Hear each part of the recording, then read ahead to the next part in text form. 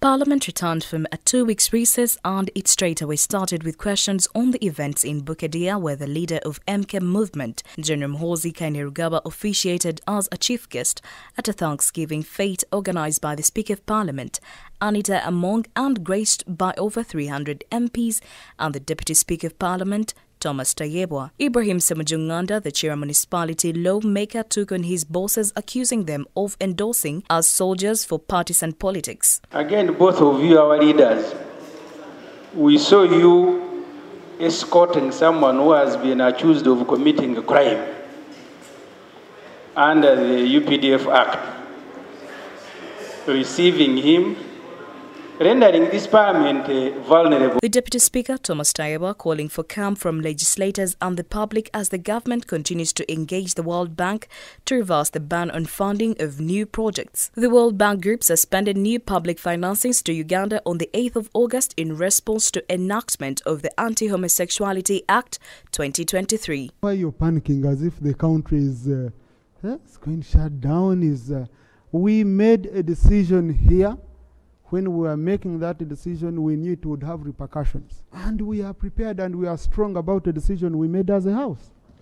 The moment we show any signs of weakness and panic, it means we don't know what we are doing, we don't know what was coming. We knew threats would come, people would try to do what.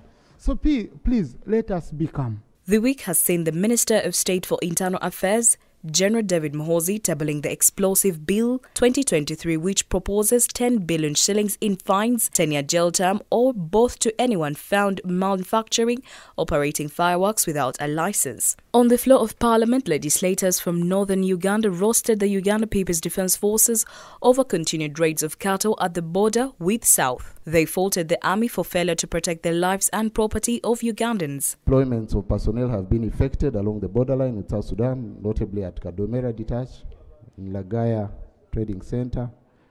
Waligo Detach has got more armored vehicles. Agoro Detach and Ngomromo Detach, among others, were also reinforced uh, by the UPDF. The UPDF has also made other reinforcements along the borderline, which have led to reduced raids by the South Sudanese. Several diplomatic engagements have also taken place between the authorities in Uganda and their counterparts in Sudan. Idea is to reinforce collaboration so that this problem is resolved. The microfinance deposit taking institutions revision of minimum capital requirement instrument 2022 was considered by parliament in midweek revising upwards the minimum paid up cash capital requirements of microfinance deposit taking institutions from 500 million shillings to 5 billion shillings this was a deviation from the earlier position of the Ministry of Finance that had proposed 10 billion shillings. Position of a minimum paid up cash, cash capital requirement for a microfinance deposit taking institutions be set at 250,000 currency points and be reviewed year after year. Don't encourage institutions that can receive deposits to go to the farthest point of our country.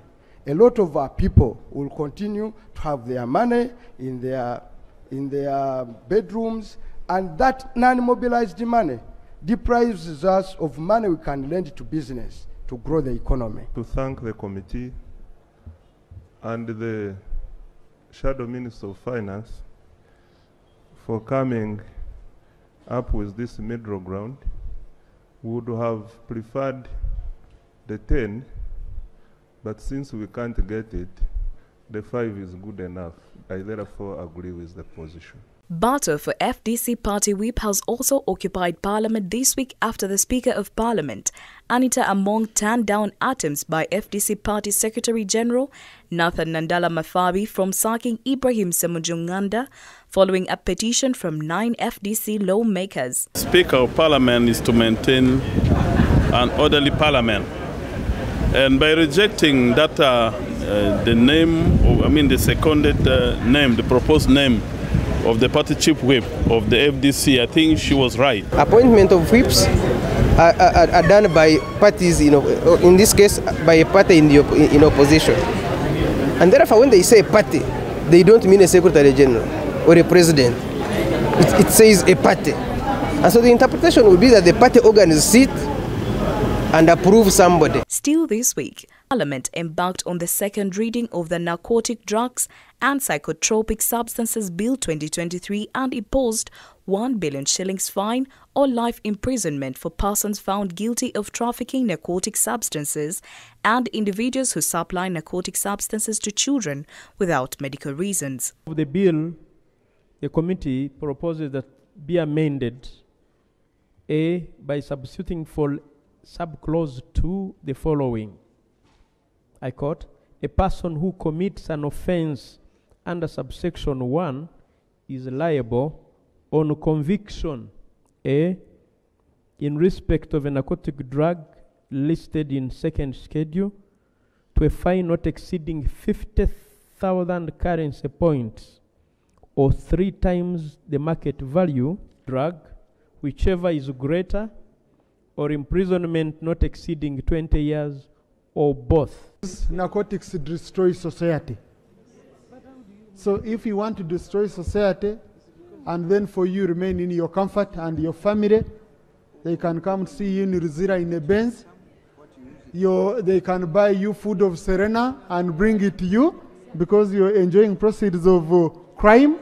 Also, person or owner of land who will allow his or her land to be used for cultivation of the prohibited plant will also have to pay 1 billion shillings or an amount equivalent to the fee that is three times the market value of the said drug at the time of apprehension or face five-year jail term in prison or both.